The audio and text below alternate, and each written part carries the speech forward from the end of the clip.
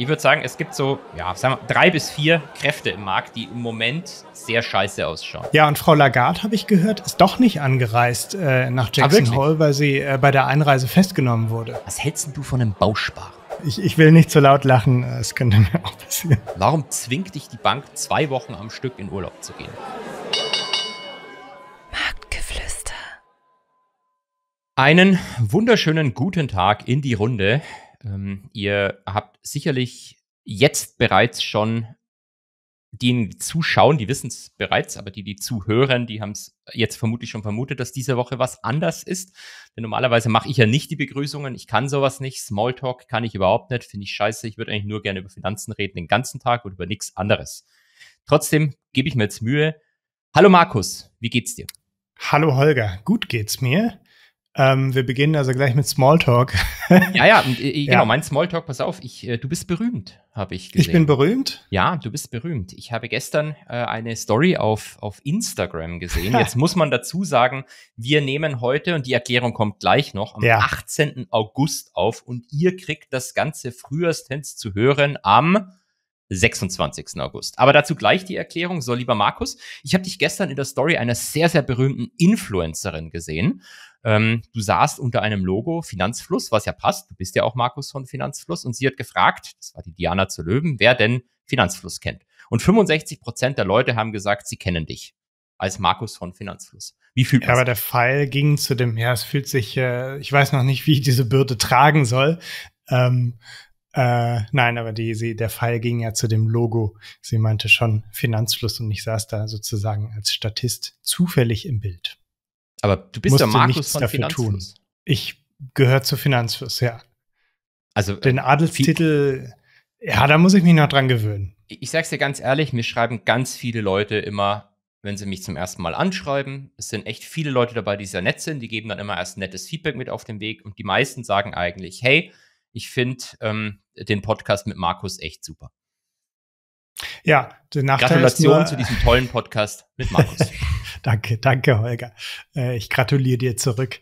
Nein, ich finde das schon ganz cool, wenn, wenn, wenn du das mit Thomas machst, weil dann, dann habe ich was zu hören. Das ist immer so meine Wochenendroutine, dass ich dann irgendwann äh, Marktgeflüster höre. Und äh, ich finde Hören, ehrlich gesagt, schon schöner als äh, selber zu sprechen, weil dann, dann lernt man ja nichts Neues. Verstehe ich jetzt nicht. Also ich höre den Podcast jede Woche, weil ich mir einfach Echt? gern selber zuhöre, wenn ich über den Markt spreche. Bist ja, du nicht so narzisstisch die, veranlagt? Jetzt bin ich aber ich schockiert. Hab, ich habe das die ersten Male tatsächlich auch gemacht, aber irgendwann, äh, irgendwann kann ich es dann nicht mehr. Ja, eher so, um zu wissen, was man ändern muss. Ne? Also man, man will ja auch wissen, ob das jetzt okay war oder nicht.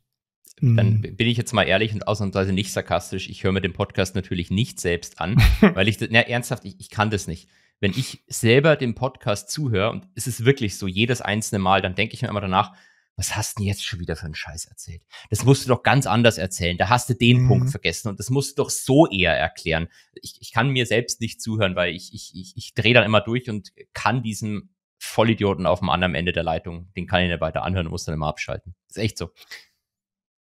Ja, es tut mir du nicht, dass du jedes Wochenende im Markt geflüstert. Holger ist der einzige Mensch, der nicht Backgeflüster hören kann am Wochenende. Das ist schon, das ist echt dramatisch. Das ist, das ist äh, schlimm. Ist, ist, es tatsächlich, ist es tatsächlich. Ja. Ähm, äh, bevor du mit was loslegst, weil ich sehe mhm. hier schon ganz viele spannende Dinge. Ähm, mhm. Wobei das erste, das hast du, das hast du diese Formulierung gewählt. Willst du nicht diese Formulierung starten? Und dann, dass wir erstmal erklären, warum wir jetzt schon am 18. aufnehmen, obwohl die Leute das am 26. frühestens hören. Genau, also der, der Podcast ist eine kleine Premiere. Gestern wurde auch schon eine Folge aufgenommen, die ich noch nicht gehört habe. Also es ist tatsächlich das erste Mal, dass ich den vorherigen Podcast nicht gehört habe. Keine Ahnung, was ihr besprochen habt im letzten Podcast. Und ich hoffe, wir erzählen jetzt nicht alles doppelt oder so, weil ich, weil ich wie gesagt, nicht weiß. Ähm, heute ist der 18.8. Morgen ist Samstag, der 19.8. Da kommt der Podcast raus, den du mit Thomas gestern aufgenommen hast. Aber nächste Woche sind alle am Freitag im Urlaub. Also sowohl du als auch ich, als auch Thomas. Und äh, übrig bliebe dann halt Jan, dein Vertreter. Und den wollten wir nicht alleine in diesem Podcast lassen. Deswegen haben wir gedacht, dann machen wir das ausnahmsweise mal eine Woche vorher, der weltweit erste Podcast im Futur 2 sozusagen. Denn die Challenge ist natürlich, dass wir trotzdem möglichst aktuell sind. Wir müssen also uns so ein bisschen wo ist die Kristallkugel? Ich, ähm, na, wir müssen halt irgendwie versuchen, ähm, vorauszusagen, was nächste Woche passiert, in der Vergangenheitsform reden und ähm, ja, hoffentlich stimmt das dann alles, was wir Und dann da stellt sich die große Frage, werden wir am Ende recht gehabt haben? Genau. Genau. Um, ist es Futur 2? Ich weiß es nicht. Oder lass uns Recht gehabt haben, ja, wahrscheinlich. Ja. Recht gehabt haben werden sein. Ja. Lass uns einfach den Futur, Futur 3 erfinden. Ähm, Futur 3 ist das Marktgeflüster Futur. Sagt dir Plusquamperfekt was? Ja, das äh, okay, im Rheinland spricht man ja ausschließlich im Plusquamperfekt. Ist es so, ist es so? Ja. Ich okay. war, ich war gewesen und, und so weiter. Sehr gut. Ich wollte jetzt einfach mal ein bisschen testen, wie du, äh, wie deine Schulbildung damals war. ähm, weil du bist ja auch ich hatte in keinem tatsächlich richtigen mal Deutsch Nachhilfe. Echt? Äh, ich habe genau die Dinge, ich war richtig schlecht in Grammatik, richtig schlecht. Und dann hatte ich Nachhilfe und dann war ich danach richtig gut. Und ja, mittlerweile ist das alles ein bisschen eingerostet. Also ich, ich krieg das nicht mehr alles zusammen. Aber du wusstest zumindest, was Plusquamperfekt ist. Wobei, wie du sagst, du hast den unfairen Vorteil des Rheinländers. Bevor es mit der Folge weitergeht, noch ein paar kurze Worte zu unserem Sponsor, Stock Free. Stock Free ist ein Münchner Finanzportal, welches unter anderem ein Web- und App-basiertes Finanzterminal zur Verfügung stellt. Das kann man sich im Prinzip vorstellen wie Bloomberg, nur so, dass, dass, dass sich das auch arme Finanzprofessoren leisten können. Ich selbst nutze das Terminal sowohl in der Web- als auch in der Smartphone-Variante tatsächlich seit mehr als sechs Jahren, tracke da mein Portfolio, verfolge das aktuelle Marktgeschehen und kann quasi auf täglicher Basis dann sehen, direkt am Handy, wie ich Geld verliere. Das Ganze gibt es in der kostenlosen Variante, die sich auch gut zum Testen eignet. Ich nutze aber seit langem jetzt schon äh, eine der kostenpflichtigen Versionen und zahle für Stock-Free Tech 11,99 Euro im Monat. Wenn ihr Interesse habt, schaut gerne mal vorbei und nutzt auch gerne den Link in den Shownotes. Und außerdem gibt es als kleines Bonbon für die Marktgeflüsterhörer einen Bonus. Und zwar bekommt ihr einen Monat lang das Plus- oder das Tech-Abo komplett kostenlos mit dem Gutscheincode Servus. Dabei handelt es sich nicht um ein Abo. Ihr müsst am Ende des Monats also nicht kündigen, sondern das läuft einfach automatisch aus und danach könnt ihr euch selbst entscheiden, ob ihr ein Abo abschließen wollt oder nicht. Werbung Ende. So, ähm, wir, wir, brauchen noch ein bisschen Smalltalk, bevor es dann losgeht. Hast du noch ja. Smalltalk? Genau, apropos Futur 2. Mir kam dann, als ich mir überlegt hatte, ah, wir müssen irgendwie versuchen, diesen Podcast möglichst aktuell, möglichst aktuell zu machen. Gestaltet zu haben. Äh, wir müssen den möglichst aktuell gestaltet haben, genau. Ähm, werden ihn möglichst aktuell gestaltet haben müssen oder keine Ahnung. ja, sorry Leute. Ähm, nein, mir kam ein Wunsch an euch beide. Also mir, mir kam in dem Zusammenhang die Idee, mhm. dass ihr im Januar einen Podcast aufnehmt, den ihr aber nicht im Januar ausstrahlt, sondern im Dezember. Das heißt, ihr macht zum Jahresanfang 2024 bereits mhm. den Jahresrückblick 2024. Man muss irgendwie es schaffen, daran zu denken, dass die Folge dann im Dezember auch gepublished werden muss. Ähm, und äh, genau, könnt das voll mit Jahrespredictions machen, aber gestaltet die so, als wäre das eine aktuelle Folge. Und dann bin ich mal gespannt, was so alles stimmt und was nicht. Und auf YouTube machen wir parallel ein Reaction-Video auf unsere eigene ah, Folge, die wir dann auch erst ja. nach einem Jahr wieder hören dürfen. Das ist richtig gut, ja. Und dann, dann merkt, dann macht ihr euch richtig schön darüber lustig, was für ein Unfug ihr verzapft genau. habt. Ja. Jetzt ist, ist natürlich die Frage, wenn wir das erst im Januar machen können, bis Januar ist noch ein halbes Jahr hin, minus eine Woche, wenn ihr das jetzt hört. Ähm, und dann ist es noch mal ein Jahr hin, bis das Ganze, also weil wer weiß, ob es den Podcast dann überhaupt noch gibt. Ja, ich hatte gedacht, ähm, gut, man könnte das natürlich auch an einem anderen Termin machen, aber irgendwie so Jahresanfang und Jahresende passt ja eigentlich ganz gut. Ihr ladet das einfach schon hoch im Januar mhm. und timet das auf den Dezember. Und dann gibt's zwei, na, drei mögliche Szenarien. Erstes Szenario, ihr habt dran gedacht und habt nicht extra eine Folge noch produziert für den Termin. Zweites Szenario, ihr habt's komplett vergessen und aus irgendeinem Grund werden dann zwei Folgen gepublished. Und dann merkt ihr wieder, ah, da war doch noch was. Und Szenario drei, den Podcast gibt es nicht mehr, er ist gestorben. Und dann kommt irgendwann im Dezember völlig unverhofft nochmal so eine Folge, eine Folge, aus dem Off. Ja, das, das finde ich eigentlich, eine, ich finde es eine gute Idee. Ähm, da Thomas ja hoffentlich den Podcast hört, können wir ihn direkt fragen, ob er diese Idee auch gut findet. Genau, und dann nächste und Folge muss er dann mit Jan äh, sich ein Konzept überlegen und dann genau. äh, dürft ihr das wieder, ne? Es muss ja immer einer weg sein und dann werden Fakten geschaffen und dann muss der nächste wieder, äh, so, so funktioniert das ja, ne? Man, man, man kennt es. Und ja. Sachen werden natürlich versprochen, die dann auch nie eingehalten werden. Das wäre natürlich noch besser. Wir kündigen an, dass wir diese Folge hochladen, dann laden wir sie nie hoch. Das wäre das vierte Szenario, dass die Leute, die da bis Dezember immer noch da sind, jede Woche warten, wann kommt diese Folge. Sie kommt einfach nicht. Und die einzigen Hörer, für die das das Normalste der Welt ist, dass da keine Folge kommt, seid ihr beiden.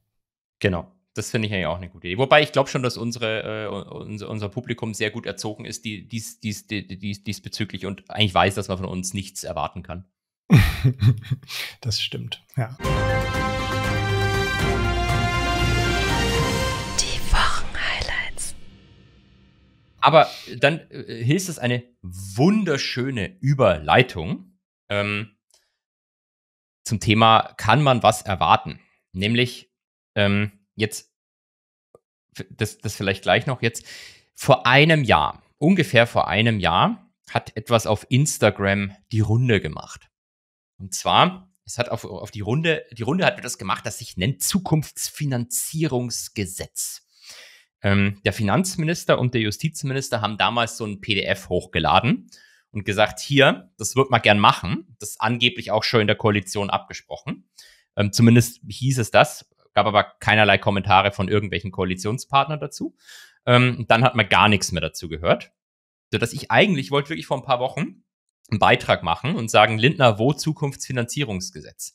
Und jetzt hier schlagartig, ich habe das gar nicht so mitbekommen, aber schlagartig wurde das wohl jetzt im Bundeskabinett beschlossen und verabschiedet. Und jetzt stellen sich natürlich zwei Fragen. Erstens, drei, ist die Zukunft Deutschlands finanziert? Ähm, zweitens, was steht da eigentlich drin und betrifft es irgendjemanden von uns? Und die dritte, und das war die Überleitung, was hatten, hatten der Herr Lindner uns damals versprochen, dass da reinkommt und was steht jetzt tatsächlich drin? Ähm, was hältst du vom Zukunftsfinanzierungsgesetz, Markus? Ist die, du bist ja Politiker, ist die Zukunft finanziert jetzt? Wobei, ja, ich finde, es ist immer oder? gut, wenn Zukunft finanziert wird. ähm, nein, du sagtest, wo Zukunftsfinanzierungsgesetz und hast mir da so einen Link reingepostet und mhm. hast gesagt, es wurde im Kabinett beschlossen. Genau. Aber meine Frage ist immer noch, wo Zukunftsfinanzierungsgesetz, weil auf der Seite vom Finanzministerium gibt es nur Eckpunkte. Eigentlich müsste es ja irgendwo einen Referentenentwurf geben, so nennen sich die Dinger, bevor sie ins Kabinett gehen. Ähm, weißt du, ich habe dir, das, ich hab dir den falschen irgendwo, Link geschickt. Meinst du, du ich hast den einfach, falschen Link geschickt? Ja, ich habe ja. den falschen Link geschickt. Es ist nicht ähm, zu verwechseln mit dem Gesetz zur Stärkung von Wachstumschancen, Investitionen und Innovation sowie Steuereinfachung, Vereinfachung und Steuerfairness, oder? Weil das ist das Gesetz, das gerade on hold, medienwirksam on hold ist. Das war das, was die Frau Paus irgendwie gekillt genau. hat, oder? Nee, das ja. ist es nicht. Ähm, warte, ich, ich schicke dir den, äh, den, den, ich habe dir tatsächlich das, das, den falschen Link äh, geschickt. Ja, Hier und ich hatte übrigens gerade deswegen den ganzen Namen äh, vorgelesen, weil ich gerade noch von Jule instruiert wurde, die sagte, das ist Framing, dass die diese Gesetze immer so, so, ähm, so nett vom, so, den so nette ja, Namen geben. Und deswegen habe ich den echten Namen vorgelesen, weil wir wollen ja hier ganz neutral sein. Da, da gibt es äh, eine ein ganz witzige Geschichte über den, ähm, ich weiß nicht, ob jemand noch den ehemaligen US-Präsidenten Donald Trump kennt. Mhm. Ähm, der hatte eine relativ große Steuerreform gemacht. Ähm, wahrscheinlich so, äh, wenn man jetzt sagt, so das äh, wirtschaftspolitische Großprojekt seiner Amtszeit, dann ist es wahrscheinlich diese Steuerreform. Jetzt kann man natürlich sagen, ist es seine wirklich gewesen oder war das eigentlich seit Jahren der Plan von den Republikanern? Gary Cohn von, äh, von Goldman hat da mitgemacht. Also das war ein Riesending. Und dann war auch die Frage, wie nennt man das? Und ähm, dann hat Trump wohl tatsächlich vorgeschlagen, er würde das gerne den Cut, Cut, Cut, Cut, Cut Act nennen. ähm, zu, zum Thema Steuersenkung. Also ich glaube, ja. viermal sollte das Wort Cut drinstehen. Aber das haben sie dann nicht gemacht. Ja. Äh, gut, ich habe den Referentenentwurf tatsächlich gefunden. Der wurde also verabschiedet. Aber ähm, den kriege ich jetzt so schnell nicht gelesen. Also ähm, das liest sich auch immer ähm, so ein bisschen schwierig. Ähm, aber ich hatte mal in diese Eckpunkte geguckt und ich hatte den Eindruck, also, dass da relativ viel Blabla drin stand. dass okay. da, ähm, also mein Highlight, das Thema Digitalisierung des Aktienhandels, da, was stelle ich mir vor unter, wir wollen den Aktienhandel digitalisieren? Damit meinen mhm. die wahrscheinlich, dass ich, um eine Aktie zu kaufen, nicht mehr zu Fuß zu meiner Sparkassenfiliale laufen muss? Oder weit reisen muss in meine Heimatfiliale, weil ich es nur da machen kann, dann das Wertpapier abhole und dann zu Hause in Ordner einordne, sondern damit meinen die wahrscheinlich, dass man sich einloggen kann bei einem Broker, äh, den Broker auf dem, auf dem Handy hat und dann künftig auf dem Handy Aktien kaufen können soll, oder? Das, das ist wahrscheinlich mit der Zukunft gemeint. Der nee, das soll ja verboten des werden. Die Scalable Capital stimmt, das wollen die sogar verbieten. Das will ja. die EU verbieten. Das ist verboten. Stimmt, ja. Ähm, nee, was sie damit meinen, ist irgendwas Blockchain-basiertes und äh, dann habe ich in dem Moment ehrlich gesagt abgeschaltet, weil ähm, ähm, immer wenn man versucht, äh, alles Mögliche in Blockchain zu gießen und, und damit PR zu machen, ähm, äh, das ist peinlich, ja, Das ist manchmal so ein bisschen peinlich, ja. Ja, ich, ich, ich, würde ja, ich würde ja ganz ehrlich sagen, dass ich mich mit Blockchain nicht auskenne. Wobei ich gleichzeitig, glaube ich, schon relativ nachvollziehbar erklären kann, wie grundsätzlich das Prinzip von der Blockchain ist, was die Hash-Funktion mhm. macht, etc. Trotzdem würde ich sagen, ich kenne mich nicht aus. Mhm. Habe aber das Gefühl, dass viele Leute, die einfach das Wort Blockchain erwähnen, noch viel weniger wissen als ich zu dem Thema. Ja, oder sie, sie wissen viel mehr und, und äh, können sich deswegen viel mehr darunter vorstellen, was Digitalisierung des Aktienhandels heißt. So, oder würde man doch mal vermuten, dass in einem Bundesfinanzministerium die Leute, die da Gesetze schreiben, viel, viel besser über die Blockchain Bescheid wissen, als unser eins das tut, oder? Ich würde es zumindest hoffen. Ob das der, der Fall am Ende ist, ist wieder ja. eine andere Geschichte. Also ähm, zurück zum Blabla. Ähm, nee, was ich ganz gut finde, ist ein hm? Freibetrag für im Privatvermögen erzielte Gewinne. Ähm, das heißt, also was ich mir darunter vorstelle, wie gesagt, ich habe wirklich nur grob über die Eckpunkte gelesen. Mhm. Ähm, das würde bedeuten, ähm, man könnte sagen, Betrag X ist so das, was man zur Altersvorsorge braucht. Irgendwie ein sechsstelliger Betrag. Und ähm, alles, was darunter ist, muss äh, nicht versteuert werden. Also Gewinne, die aus einem Vermögen, das diese Höhe hat, äh, müsste nicht versteuert werden. Ähm, ich bin ja immer für die Thesaurierung vom Sparerpauschbetrag. Äh, und man könnte den so ein bisschen an, äh, anheben. Das heißt, je länger ich Buy and Hold mache, desto höher ist mein Freibetrag. Ähm, dass ich mir den einfach ja, zusammensparen ich, kann. Dass du den äh, behalten kannst, sozusagen, mhm. oder? Dass er nicht am Ende des Jahres verfällt, ja. Aber da genau. ist bisher kein Politiker draufgekommen. Vielleicht ist es auch Schwachsinn. Äh, ja, das wird ja ein bisschen aufgehoben durch die Vorpauschale jetzt, oder? Weil du, da du eine Vorpauschale zahlen musst, die du mit dem Freisteu äh, ja, dadurch wird er noch mehr verbraucht, Freistellungs Spar ja, Sparerpauschbetrag. Sparerpauschbetrag. Damit wird er ja in Teilen verbraucht. Also früher ja. war es ja wirklich so, mit dem Tesorierer hast du den jedes Jahr verloren, wenn du nichts anderes gehabt hast. Aber jetzt mhm. kannst du ja in Teilen zumindest den anfangen, so ein bisschen zu verbrauchen. Mhm. Ähm, aber wo hast du das? Ich meine, du hast ja diesen Referenten. Hast du den, was hast du genau angeguckt? Hast du den Gesetzesentwurf der Bundesregierung, Entwurf eines Gesetzes zur Finanzierung von zukunftssicheren Investitionen? Das Ding hast du angeschaut. Die, wie viele Seiten hat es? Die, die 100, nee, doch, 189 Seiten. Ich habe hier 143. ihr, seht, ihr seht, wir sind top vorbereitet. Haust du mal schnell den Link in, in, das, in das File rein? Ja, nee, es aber, ist, wichtig, es ist ja, wichtiger Punkt. Aber du könntest ja mal ähm, zusammenfassen, was ab, äh, ab Artikel 1 da drin steht auf Seite 6. Was bitte? Also, hau, hau, hau, mal den Link in, ins, ins, in unser tolles Sheet rein. Ich will das ja, jetzt ich hau mal den Link rein. Es, es, es, gibt einen Grund, also alle, die jetzt zuhören, ähm, es, es, gibt einen Grund, warum ich da jetzt so drauf rumhacke und ja. warum ich das jetzt extra nochmal verifizieren möchte, was der, der, der, der liebe Markus hier uns erzählt. So, genau. Jetzt habe ich das Ding. Das ist äh, der Referentenentwurf, nicht der Regierungsentwurf. Weiß nicht, ob es da nochmal signifikante Unterschiede gibt. Ja, anscheinend 50 Seiten. Sein. Aber der andere hat 50 Seiten mehr. Ähm, was steht da drin zu dem Freibetrag, von dem du gerade, du hast gerade gesprochen von dem Freibetrag für ein Privatvermögen erzielte Gewinne. Wo steht mhm. dazu was in diesem Referentenentwurf? Ja, das wird man da nicht finden können, weil da dann einfach drin steht, Paragraph so und so in Gesetz so und so, da wird dieses Wort durch jenes ausgetauscht. Man muss dann immer in die ähm, Eckpunkte gucken. Und jetzt schaue ich mhm. gerade hier. Weil das ist ja für alle von uns relevant, der Freibetrag. Mhm. Vielleicht haben die das gekippt. Ja, ich glaube, die haben das gekippt. Das, äh, auf der Website vom Bundesfinanzministerium steht das nämlich, wenn man nach äh, diesem Gesetz googelt. Auf der Seite vom Bundesjustizministerium, allerdings auch FDP, steht es mhm. nicht. Also es ist wohl nicht durchs Kabinett gegangen. Was ist das Datum von der Website vom Bundesfinanzministerium? Äh, bestimmt alt, das muss ein Jahr alt sein. Ja, nee, es ist äh, Juli 23. Das Justizministerium hat August 23. Und im Juli 23 stand es noch drin. Mhm. Das ist der Link, den du mir als erstes da reingepostet hattest. Ah, den du jetzt ersetzt hast durch einen anderen. so, jetzt, jetzt, jetzt, jetzt kommt der Punkt, warum, warum wir diese ganze Übung hier gemacht haben, liebe Menschen, die zuhören. Du wolltest ähm, mich testen. Ich wollte den Markus testen und ich wollte mich gleichzeitig ein bisschen aufregen. Nämlich in diesem Gesetz, es gab eben vor einem Jahr so einen Vorentwurf zu diesem Thema und da stand relativ viel tolle Sachen drin, unter anderem mhm. eben auch der Freibetrag für im Privatvermögen erzielte Gewinne, ohne irgendwelche mhm. Details zu nennen. Und das wurde auf Instagram sehr gefeiert und sagen, jetzt kommt hier endlich was vom Herrn Lindner für uns. Wir haben ihn ja extra gewählt dafür, dass wir weniger Steuern zahlen und jetzt wollen wir auch weniger Steuern zahlen. Klammer auf, bitte nicht immer alles ernst nehmen, was ich sage, Klammer zu.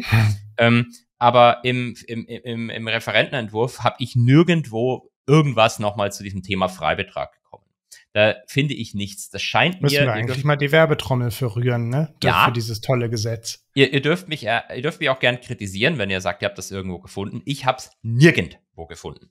Was ich stattdessen gefunden habe, und deswegen kann, kann ich mich jetzt auch noch über zwei Sachen freuen. Erstens, ähm, deutsche Beamte sind toll. Ich bin ja auch deutscher Beamter. Ähm, steht das da drin? Wo steht das? Ja, das, das, das, pass auf, das ist, implizit steht's drin. Was nämlich kommt, kommen soll, sind Dinge, die wir uns alle gewünscht haben. Wir haben uns alle diesen Freibetrag für Gewinne, den wollte eh kein Mensch haben. Stattdessen haben wir uns gesagt, was sind denn die besten, was die beste Finanzinnovation der letzten Jahre neben Zero Day to Expiry Optionen? Das sind natürlich die S-Packs, oder Markus? Die S-Packs. Ja, die Mindestmarktkapitalisierung für Börsengänge, meinst du?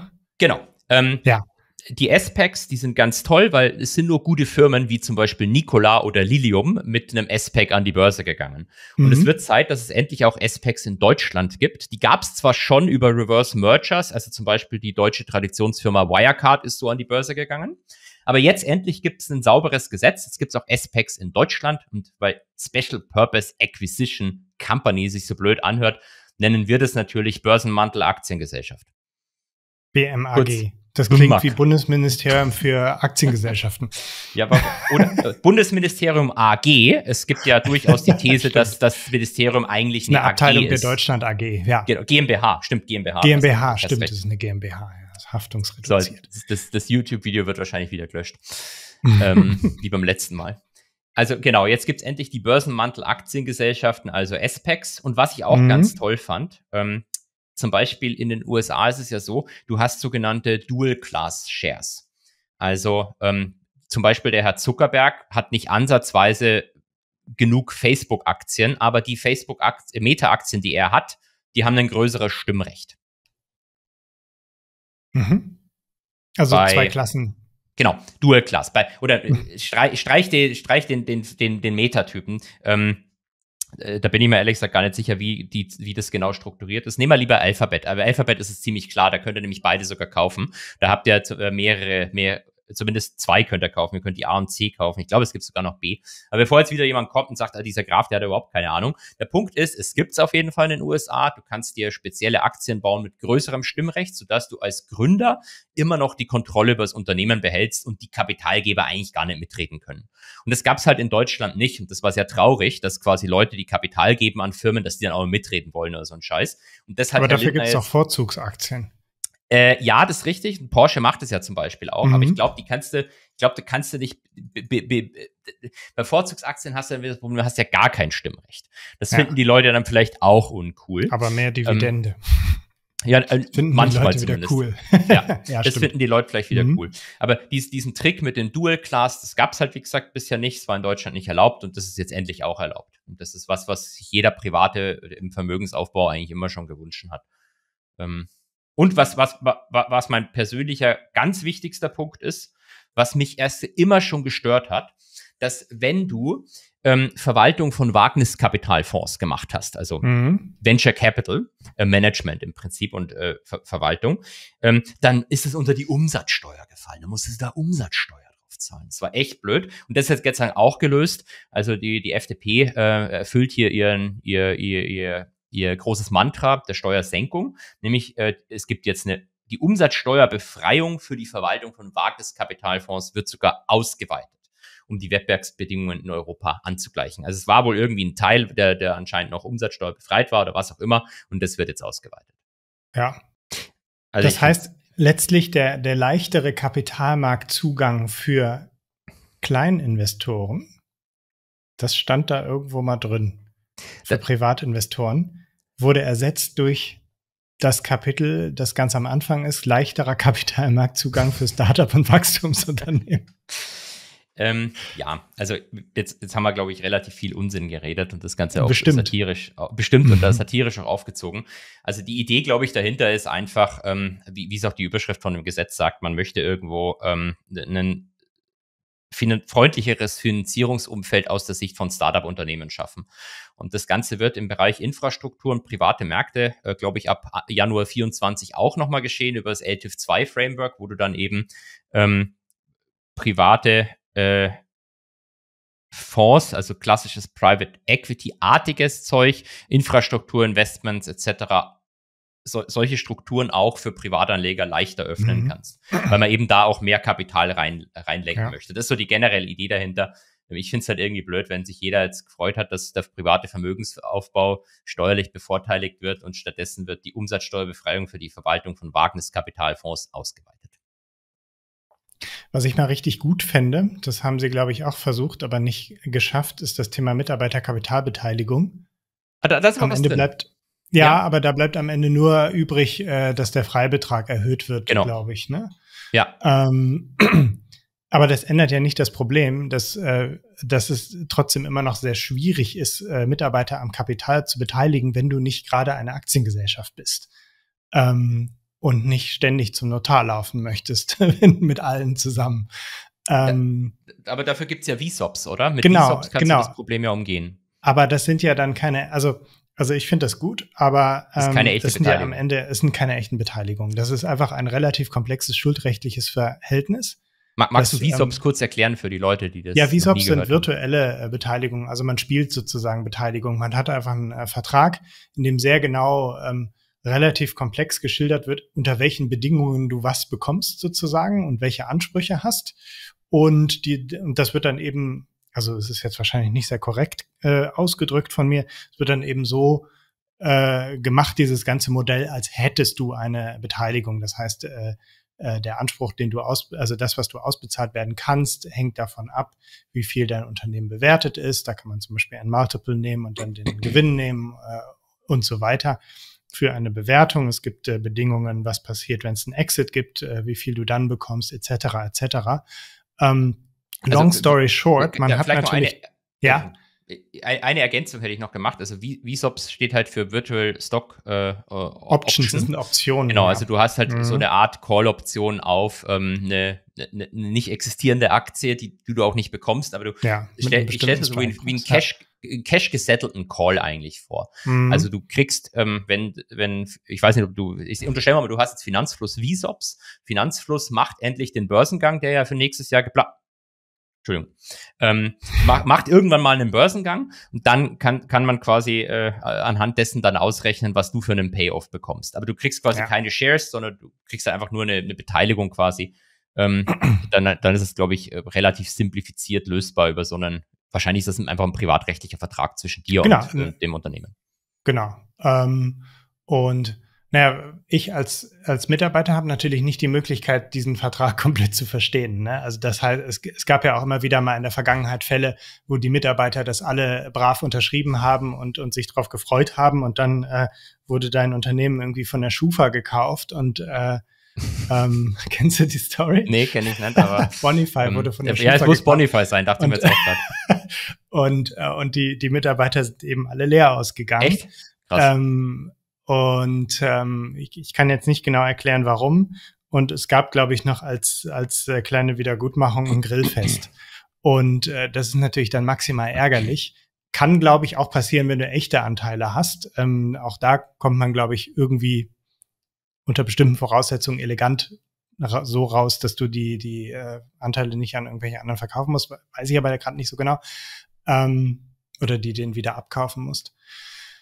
Ähm, ja, was ich aber mal richtig gut fände, wäre eine Unternehmensform, in der man die Anteile so leicht übertragen kann wie bei einer Aktiengesellschaft. Mhm. Ähm, aber die dann halt doch, also du, du willst ja nicht zwingend, wenn du ein kleines Unternehmen hast, direkt eine Aktiengesellschaft äh, haben, sondern? Ähm, du kannst ja die kleine AG gründen, die ist ja regulatorisch leicht, also ist ja weiter eine AG, aber ist regulatorisch ja. leichter aufzustellen. Ah, okay. Ja, das, aber, äh, das wusste ich zum Beispiel nicht. Dann bekommst du aber das nächste Problem. Ähm, wenn du dann diese Aktien bekommst, dann sind die natürlich was wert und dann musst du das versteuern. Und das ist der Grund mit diesem Freibetrag. Und da finde ich es eigentlich gar nicht so schlecht, wenn man vielleicht irgendwie so eine Art spezielles Depot haben könnte, so wie ich mir das ja für die Vermögensbildung auch wünsche, äh, für, für die Altersvorsorge auch wünsche. Da kommt das Ganze rein. Äh, du darfst es nicht anfassen und wenn du am Ende alles verkaufst, dann kann es von mir aus mit Einkommenssteuer und was auch immer finanziert äh, besteuert werden, solange es nicht früher besteuert wird. Da können wir gleich drüber sprechen. Wir haben ja auch für heute noch das Thema der ähm, steuergeförderten ETF-Sparpläne. das ist, glaube ich, äh, äh, hört sich besser an, als es am Ende ist. Ja. Ähm, eine Ergänzung wollte ich vielleicht noch machen zu diesen, ähm, jetzt muss ich kurz überlegen, was, was wollte ich jetzt, irgendwas wollte ich schimpfen. Jetzt hast du mich ja, durch doof, deine einfällt, ruhige, ja. beruhigende Art aus dem Konzept gebracht. mein, mein, mein hatte letztens kommentiert ASMR, Markus. Ja, ist ja auch wirklich so. Genau, wir sollten ASMR-Videos gründen. Hm. Jetzt geht's nach Jackson Hole. Nee, Jackson Hole kommt gleich. Ähm, so, mir fällt es jetzt tatsächlich nicht mehr ein. Ach, genau, jetzt weiß ich wieder. Äh, also ja, ich, ich weiß, wie das ist mit diesen VSOP-Verträgen. Ich habe ja, mhm. äh, hab ja tatsächlich auch ein paar VSOPs. Ähm, jetzt ah, nicht, hm. nicht, nicht von Finanzfluss, um das auch gleich Von Goldman Sachs. genau, von Goldman. Nee, nee, ähm, von, von ein paar Startups, denen ich äh, ein paar Sachen immer helfe. Aber mhm. Ähm, das sind auch mal, ich habe das einfach meistens unterschrieben. So irgendein Vertrag, keine Ahnung, habe ich unterschrieben. Ja. Die Wahrscheinlichkeit, dass es da äh, wirklich zu, zu Zuge kommt, äh, ist ja jetzt nicht, nicht, nicht mega hoch bei Startups. Das kann ja immer, die meisten gehen ja schief. Wenn es dann zum Zuge kommt, naja, keine Ahnung, brauchst halt einen Anwalt. Nicht Spaß. Ja. Aber äh, dieses, ähm, die Leute haben was nicht gelesen und merken dann erschreckend, äh, weil du jetzt das bei den Bonify-Mitarbeitern mhm. angesprochen hast, da muss man natürlich ähm, sagen, das passiert nicht nur den, den Anfangs den kleinen Mitarbeitern, sondern es gibt ja auch Großinvestoren, die sich AT1-Anleihen von Credit Suisse kaufen, ohne einmal gelesen zu haben, dass What's this viability event they talk about? ähm, ja. Also auch dort äh, geschehen Sachen, wo du Produkte kaufst und denkst eigentlich, dass du verstanden hast, was eine AT1-Anleihe ist. Und dann kommt aber jemand und sagt, nee, nee, die Schweizer AT1-Anleihen, die haben so ganz spezielle Regeln noch drinstehen. Und mhm. deswegen mhm. hast du jetzt mit 100% Verlust dabei. Danke, ciao. Ja. Ja, aber ähm, was an AT1-Anleihen besser ist als an VSOP ist, wenn du, wenn da AT1 draufsteht, dann weißt du genau, was für Bedingungen, also vielleicht ohne so Ja, außer halt in der Schweiz. Äh, außer halt in der Schweiz, äh, dann weißt du, dass du nachrangige Anleihen hast, die, die relativ riskant sind. Und ähm, das hängt beim VSOP natürlich äh, sehr genau von dem Vertrag ab. Äh, das ist richtig, aber bei der AT1 denkst du halt, dass du, dass du halt zumindest nach den Eigenkapitalgebern drankommst. Das halt erst wirds Eigenkapital ja, ausradiert und dann bist mhm. du dran. Oder du wirst halt in Eigenkapital konvertiert. Aber dass die einfach sagen, also Eigenkapitalgeber, die kriegen jetzt UBS-Aktien und ihr AT1-Anleihe, Alter, ja, ihr, ihr, kriegt null. Also null gar nichts. Ihr seid weg. Das, das mhm. war halt, glaube ich, den Leuten nicht, zumindest einigen Leuten nicht bewusst, die das gekauft ja. haben, weil das am, am Montag dann direkt äh, für breiten Sell-off in AT1-Anleihen gesorgt hat, die eigentlich diese, diese, diese Events gar nicht drinstehen hatten. Ja. Aber gut, jetzt nörden wir wieder zu viel rum. Wie, wie laufen denn eigentlich die Klagen? Da haben sich doch einige die AT1-Anleihen dann abgekauft, um ja, dann.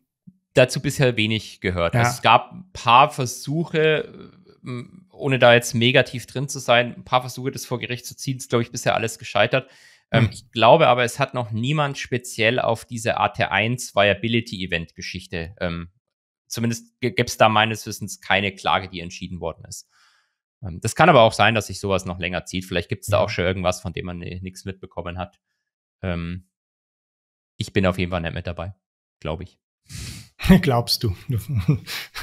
ja, ich habe hab weißt, ja auch. Was in deinen ähm, Fonds alles drin ist. Genau, ich wollte gerade sagen, ich habe ja auch ähm, gerade im, im Credit-Bereich ein paar Hedgefonds äh, in Anführungszeichen eine Beteiligung, wo ich nicht weiß, was die machen. Aber ähm, ich, ich, unterstelle jetzt einfach mal, dass, dass ich bin da nicht mit dabei. Mhm. Ausblick. Was soll man als nächstes sprechen, Markus? Jetzt, wir haben ja dieses Problem, wir müssen, wir müssen forecasten. Jetzt ist die Hälfte des Podcasts rum. Ich würde vorschlagen, wir gehen mal kurz auf unseren Marktausrückblick, oder? Also ja, letzte Woche, Woche war ja Jackson Hole, oder? Genau, also für alle, die jetzt nochmal zuhören, das nochmal zu unterstreichen, damit ihr das äh, versteht. Wir nehmen am 18. August auf. Ihr kriegt das aber am 26. zu hören. Und die Rede, wir, wir, tun jetzt so, als blicken wir auf den Markt zurück und sagen, was passiert ist. Und ihr dürft dann ja, entscheiden und, und wann, in den Kommentaren. Wann, wann findet das Treffen statt? Am 25. Also das Treffen findet über mehrere Tage statt, aber am 25. August. Das ist da. Also gestern. Genau, gestern, ist war. gestern gewesen. Genau, mhm. gestern, am 25. August gestern, war die lang erwartete Rede von Jay Poff und Jerome Powell in Jackson Hole. Falls niemand weiß, wo das ist, das ist irgendwie so ein, das ist, ähm, ähm, äh, ja, was ist das eigentlich? Das, Jackson ist, glaube ich, eine Stadt der, in Wyoming. Der Olymp, der, der Fett. Ja, ähm, das auf jeden Fall, aber. Anderer Zentralbanker. Ist Jackson Hole die Gegend wahrscheinlich? Aber es äh, steht auf jeden Fall immer kurz für eine Konferenz, die eben äh, in Wyoming äh, unter, dem, unter dem Dach der Kansas äh, Fed stattfindet und wo sich ganz viele berühmte Notenbanker treffen. Und dieses Jahr ist sie da. Frau Lagarde hat sich bereit erklärt, auch zu dieser langweiligen Notenbankkonferenz zu gehen. Letztes Jahr war sie ja nicht da, da hat sie sich von Frau Schnabel vertreten lassen und stattdessen eine Home Story irgendwie in so, einer, in so einem Magazin wie der Gala gemacht, ähm, was für mehrere Stirnrunzeln bei Zentralbankern gesorgt hat. Ja, also Frau Lagarde ist tatsächlich angereist, ja. hat gestern eine Rede gehalten und hat äh, was in dieser Rede gesagt. Also wollen wir erstmal den ähm, Herrn, Herrn Paul machen? Ja. Bei Herr Paul stand ja die große Frage, eigentlich dachte jeder, die Zinserhöhungen sind vorbei denken wir auch jetzt noch.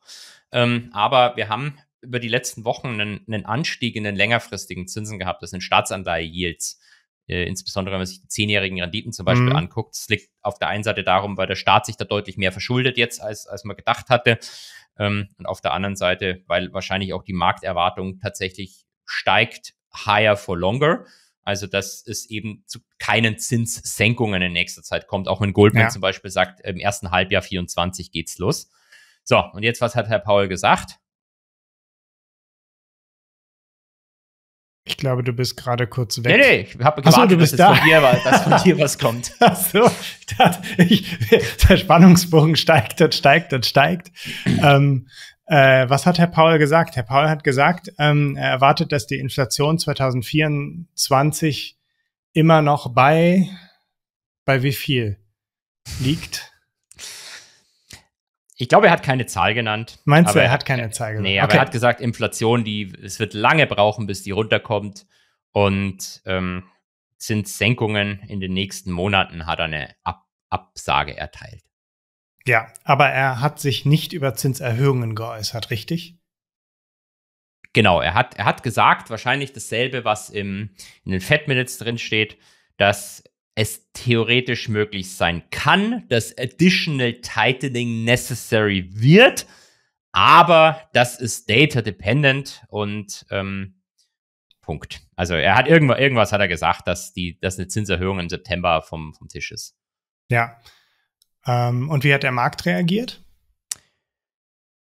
Ähm, ich weiß ja nicht mal, was der Markt heute macht. Jetzt muss ich natürlich, was der Markt in der Woche macht. Ähm, ich sage, der Markt, der Markt ist eher nach unten gegangen. Der Markt ist nicht der krass nach unten gegangen, aber mhm. driftet so langsam nach unten. Okay, ja. Dann äh, können wir uns jetzt schon mal positionieren. Dann, ja. Wenn die Leute das ähm, hören, merken sie, wie wir Geld verloren haben. Ja. Ähm, ja, und Frau Lagarde, habe ich gehört, ist doch nicht angereist äh, nach Jackson Hole, weil sie äh, bei der Einreise festgenommen wurde. Äh, ja, warum wurde sie festgenommen? Das weiß ich nicht. Das, da, dazu wurde sich nicht geäußert. Äh, sie wurde nur vor Kameras in Handschellen abgeführt. Dann äh, lassen wir das genauso stehen und vielleicht passiert es ja auch so. Vielleicht das ist es ja auch so wirklich passiert. Ähm, es, es soll ja vorkommen, ähm, zumindest im IWF passiert genau. es durchaus, dass du am Flughafen verhaftet wirst. Das ehemalige ähm. französische Finanzminister ähm, äh, äh war verhaftet er auch Finanzminister? Spontan. War er auch Finanzminister? Ich bin mir da gerade nicht so sicher. Das war jetzt nur so eine spontane Aussage. Da gucke ich. Ja, der war, hast recht, der war auch Finanzminister. Stimmt. Okay. Er war, er war auch da Finanzminister. Bin ich ja beruhigt, ja. Also für die Leute, die es nicht wissen, wir sprechen hier über den Vorgänger von Frau Lagarde im Amt des IWF-Chefs, den Dominik Strauss-Kahn, der damals am Flughafen in New York verhaftet worden ist und daraufhin dann auch sein Amt verloren hat Ich glaube zwar in dieser, in dieser speziellen Sache wurde er dann äh, freigesprochen, wenn ich mich nicht täusche, aber dann gab es Folge ähm, Anschuldigungen. Ich weiß gar nicht, wo, wo er im Moment steht, aber wo, wo, was, wo der rumspringt, ob er noch schon im Knast sitzt oder sonst was. Aber ja, Frau Lagarde wissen wir ja auch, rechtskräftig verurteilt, aber ohne Strafe wegen ihrer herausragenden Persönlichkeit. Die ist ja schon nette, eine nette Dame. Ja, ja. ich mag zwar Frau Schnabel deutlich lieber, aber okay. Ja, das, äh, du gehst nach Kompetenz wahrscheinlich. Das, das, darf man wahrscheinlich nicht machen in der Politik, das stimmt. ja. What the Finance? So, also haben wir das erledigt. Ähm, Jackson Hole, äh, habt jetzt alle mitbekommen, was da passiert ist. Der Markt, wisst ihr ja, ist über die letzten Tage nach unten gedriftet. Und ich, ich kann noch ein bisschen erzählen, warum. Ja. Darf ich das machen? Ja, du kommst jetzt zum technischen Positioning. Genau, technisches Positioning. Ähm, wenn man sagt, man hat auf der einen Seite die so eine Fundamentalanalyse oder makroökonomische Analyse, dann schaut man sich entweder das Unternehmen an oder man schaut sich eben Makrodaten an, man versucht über Zinstrajektorien äh, Vorhersagen zu treffen. Und so eine andere Geschichte wäre wär dieses technische Positioning, habe ich das einfach mal genannt, ähm, nämlich, dass du versuchst zu vorherzusagen, was andere Marktteilnehmer machen, die nicht fundamental unterwegs sind. Und da sind wir halt bei quantitativen Strategien. Also wenn du quasi weißt, was quantitative Strategien über die nächste Zeit machen, und dann hast du schon mal so eine Idee, was der Markt machen könnte. Es mhm. kann natürlich alles gecancelt werden, wenn jetzt irgendwelche mhm. riesen Käufer zum Beispiel reinkommen und die quantitativen verkaufen, dann wird das halt ausgeglichen. Aber du, du hast zumindest eine Marktkraft, von der du vielleicht weißt, was die tut in der nächsten Zeit. Und dann hast du so eine Tendenz, was der Markt machen könnte. Und ähm, vor einigen Wochen hat äh, mein Liebling von Goldman, der Scott Rubner, gesagt, if we start rolling downhill, there is an accelerant based on positioning and rules-based trading. Also wenn es leicht nach unten geht, dann könnt ihr das vorstellen wie so ein Schneeballen, oder? Der dann so runterrollt und dann wird er immer, immer, immer, immer, immer größer.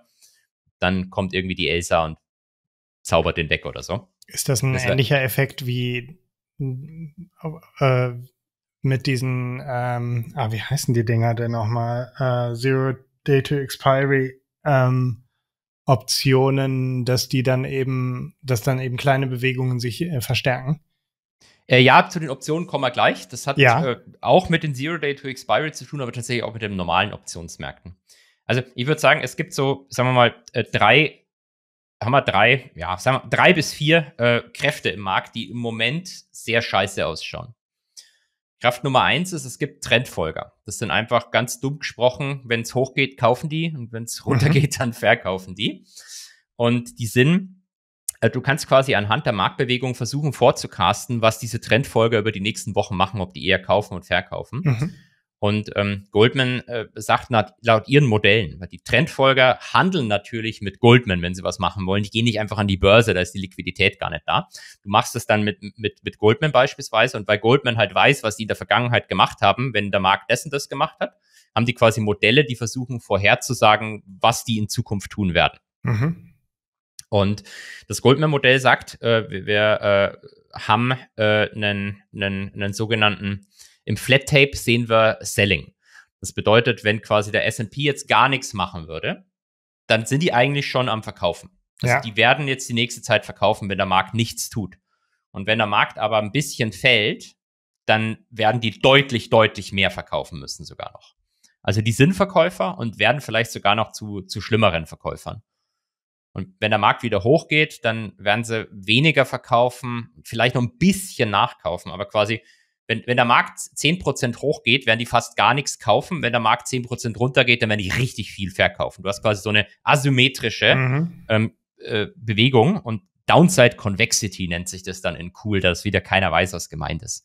Ja. Also, und äh, dann gibt es ja wahrscheinlich auch Leute, die sich versuchen, entsprechend mit äh, irgendwelchen Optionen zu positionieren, um davon zu profitieren, wenn es so eine asymmetrische Wahrscheinlichkeit gibt. Also entweder es geht ein bisschen hoch und du verlierst nur ein bisschen, oder es geht richtig runter und du verlierst und, und du gewinnst dann richtig viel. Oder, oder ähm, wird das so gepreist sein, dass das nicht funktioniert? Also ja, wahrscheinlich wird es so gepreist ja, sein, dass es nicht funktioniert.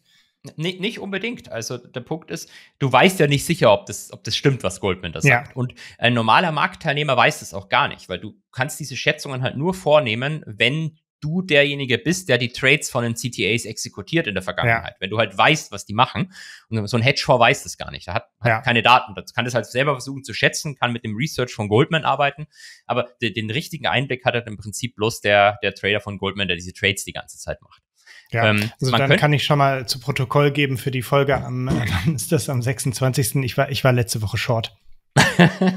es ist vielleicht gar nicht so dumm, weil ähm, was tatsächlich der nächste Punkt ist, dass ähm, die, die Optionspositionierung immer noch so ist, dass Downside-Optionen, also ein Put, wenn du Put auf dem S&P mhm. kaufen willst, der ist relativ günstig.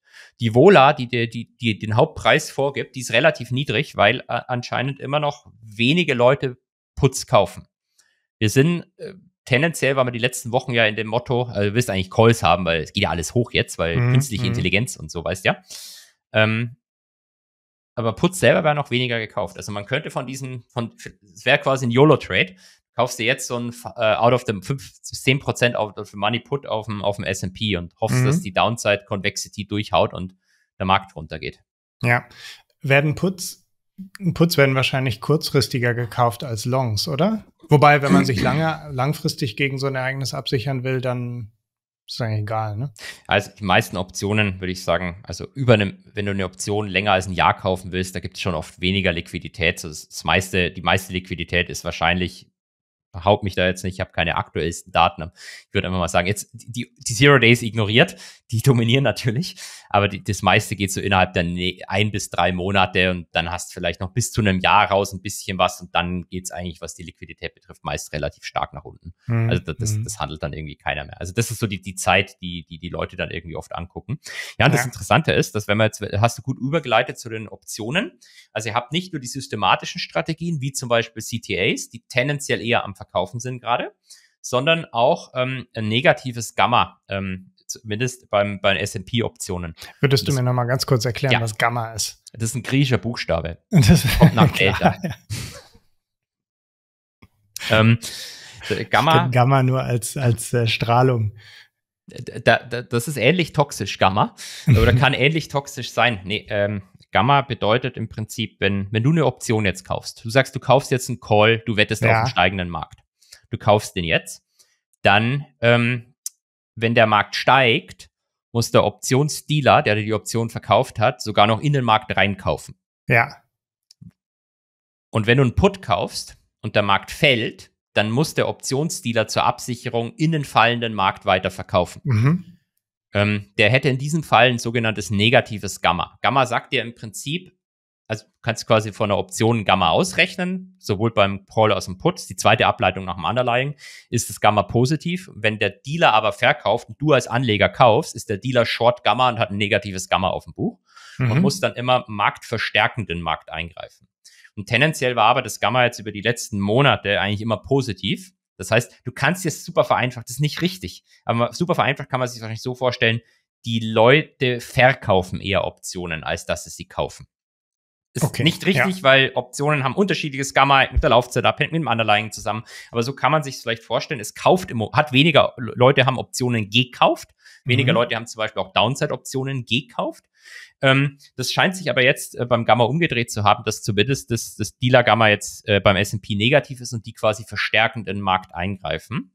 Ähm, ernst zu nehmen muss man sagen, Freitag der 18., das war ja letzte Woche am Freitag, da äh, sind viele Optionen ausgelaufen. Also es kann sein, dass sich dieses Gamma äh, mittlerweile wieder angepasst hat, bisschen besser geworden ist. Aber es ist auch scheiße, weil wenn der Markt runtergeht, dann geht er halt noch weiter runter. Ja. Und jetzt kommt das allerletzte und das be betrifft dich. Das letzte betrifft mich. Ja, warum nehmen wir, nehmen wir eine Woche vorher auf? Weil wir alle im Urlaub sind. Weil wir alle im Urlaub sind. Und weil wahrscheinlich es aktuell ein, eine Woche ist, wo die Wahrscheinlichkeit, dass Leute im Urlaub sind, relativ hoch ist. genau. Ähm, das ist äh, tatsächlich auch, das ähm, hat auch damit zu tun, äh, denn äh, wenn du Trader in einer Bank bist zum Beispiel, dann hast du ähm, nicht nur als Trader hast du eine verpflichtende, ein Two-Weeker nennt sich das. Du mhm. hast, ähm, musst verpflichtend zwei Wochen am Stück im Urlaub sein. Kannst du dir vorstellen, warum? Warum zwingt dich die Bank zwei Wochen am Stück in Urlaub zu gehen? Ich grübel gerade. Mm. Sagt dir, sagt dir, ich kann, ich bin kein Franzose, deswegen weiß ich nicht, wie man ausspricht. Jerome Kerviel was? Nee. Das ist so ein lustiger Trader von der SocGen, der den, ich glaube, 5 Milliarden verloren hat. Ähm, du, du, du bist als, als Händler in einer Bank, darfst du eigentlich nicht mit dem Geld der Bank handeln sondern ja. du machst eigentlich nur Liquiditätsproviding für, für andere Marktteilnehmer. Da kannst du schon dein Buch auch steuern, ein paar in Anführungszeichen Trades in Anführungszeichen machen, wo du glaubst, dass du Geld machst. Aber du kannst nicht einfach random morgens reingehen und sagen, mhm. ich habe hier einen Linienchart gemalt, ich glaube, das hochgeht, deswegen gehe ich jetzt hoch. Manch, wenn du es mit Hedging begründest, geht's auch wieder, aber also du, du darfst einfach nicht beliebig große Positionen nehmen. Und jetzt gab es aber äh, mehrere äh, Geschichten, wo sogenannte Rogue Trader in Banken das gemacht haben. Die haben quasi einfach selber auf irgendwas gewettet und lagen dann aber falsch. Haben dann verloren und haben dann aber versucht, diese, diesen Verlust zu verschleiern, indem sie zum Beispiel so getan haben, als gäbe es eigentlich Kundenorders dahinter. Das, mhm. Also die machen gar nicht die Trades aufs eigene Buch, sondern es gibt Kundenorders. Und ähm, jetzt ist halt das Problem, dass sowas, wenn du sowas verschleierst, wenn du quasi heimlich Trades machst und tust, als gäbe es Kundenorders, das ist nicht so leicht. Du musst dann immer wieder Umbuchungen äh, du durchführen und du, du musst eigentlich den ganzen Tag dran sein, sonst fällt mhm. es auf. Und die Idee, die äh, hinterm Two-Weeker unter anderem ist eben, ich zwinge die Leute zwei Wochen am Stück weg zu sein. Deshalb, wenn die irgendeinen Scheiß gemacht haben, dann, dann würde das, du, dass genau, plötzlich diese Orders weg sind. Genau, dann wird es in den zwei Wochen irgendwie auffallen. Der, der, ja. der dich dann vertritt zum Beispiel, dem würde das mhm. dann auffallen und du darfst zwei Wochen, du darfst ja auch dann mit deinem Handy irgendwie nicht dich einloggen oder so, du musst wirklich zwei Wochen raus. Ah ja, okay. Und ähm, Goldman sagt jetzt, the most common two-weeker of the whole year ähm, startet eigentlich, äh, ist letzten Freitag, der, dem 18. August gestartet.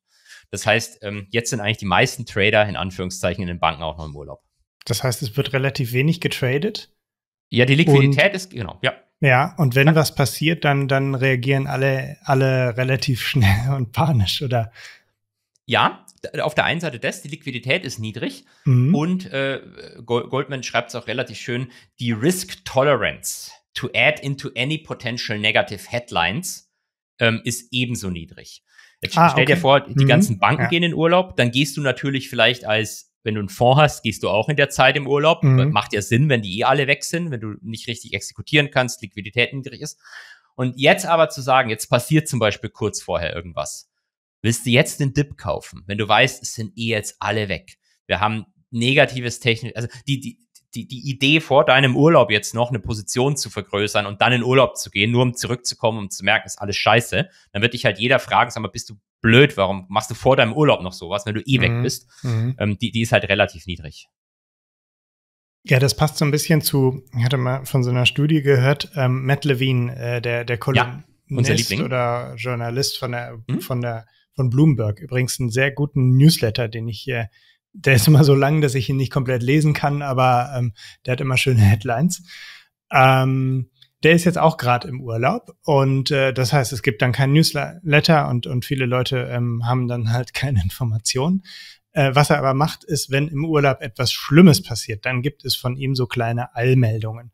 Und dann haben mal Leute eine Studie gemacht und untersucht, ähm, ob diese Allmeldungen von Matt Levine den Markt nervös machen, weil ähm, er ja nur dann, weil er nur dann sich meldet, wenn wirklich was passiert.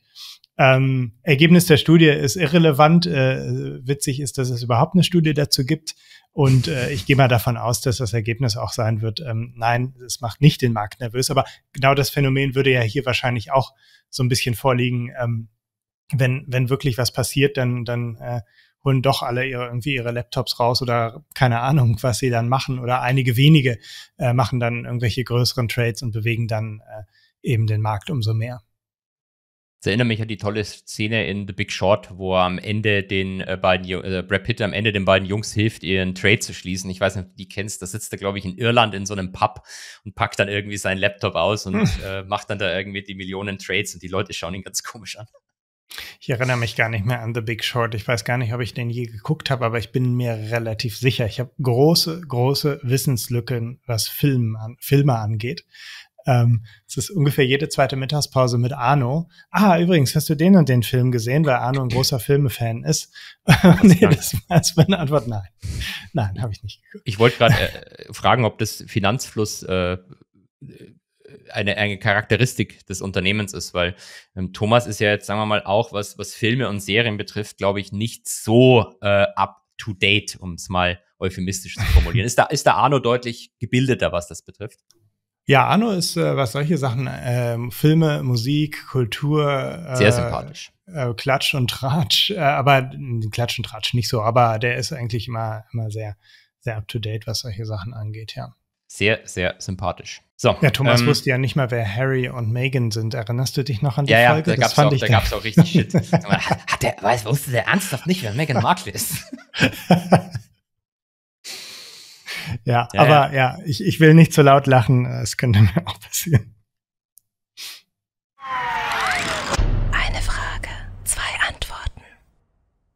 Dann äh, lassen wir mal Stars und Sternchen sein. Wir müssen noch eine Sache machen, glaube ich. Ähm, wir ja. haben jetzt vorhin groß angekündigt, dass wir über was sprechen und dann haben wir es einfach nicht machen. Dann würde das wieder zum Podcast passen.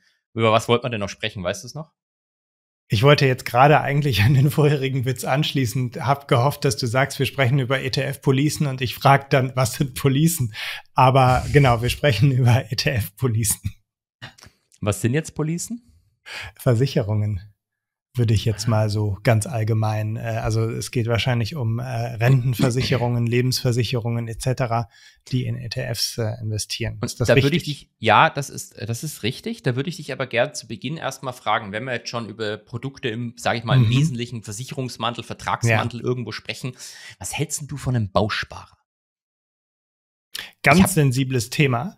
Ganz sensibles mhm. Thema richtig sensibles Thema. Es gibt nämlich, glaube ich, zwei Arten von Leuten, nämlich diejenigen, die ähm, absolut darauf schwören und wenn man irgendwas Kritisches über Bausparverträge sagt, äh, äh, uns richtig aufs Dach steigen. Und dann gibt es eben diejenigen, die da nicht so viel von halten, aber die sind nicht so, nicht so militant, glaube ich. Die, die, denen ist das alles egal. Ist ja wie bei ETFs dann quasi, oder? Weil da hast du ja auch Anhänger von ETFs und wenn mhm. du dann sagst, der aktive so wie Fonds du. hat gar nicht so schlecht performt, mhm. ja, ja, genau, so wie, so wie ich, dann, dann der, der, Thomas tickt dann immer komplett aus, wenn ich so einen aktiven Fonds irgendwie äh, beleidigt, weil er ja sehr großer Fan von aktiven Fonds ist, nachdem er alle ETFs verkauft hat. Aber ja. ähm, also Bausparer finden wir den gut oder nicht?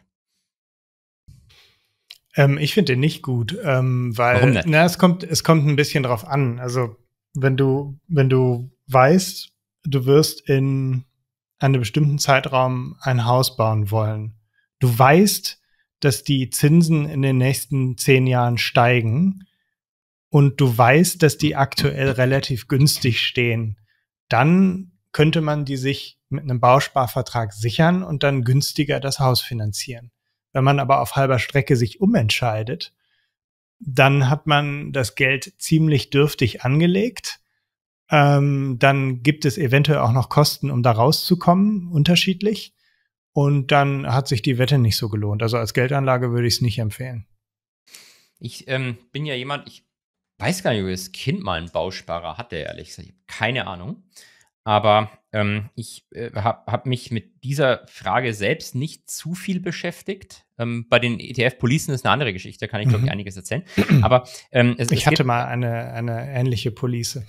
Nee, Bausparer. Aber nicht auf ETF-Basis. Nein, so. eine Rentenversicherung. Oh, da, da, kannst du gleich erzählen. Ich wollte noch kurz zu diesem Bausparer was sagen. Nee, aber mhm. es, es gibt einen, ähm, einen äh, Finfluencer-Kollegen auf Instagram, der, der Joschka von Finanzrebellen, der hat ein Argument genannt und ich will das bloß wiederholen, dieses Argument, weil ja. das finde ich sehr plausibel und will aber dazu sagen, dass es eben nicht von mir kommt, weil sonst würde ich mich mit fremden Federn schmücken.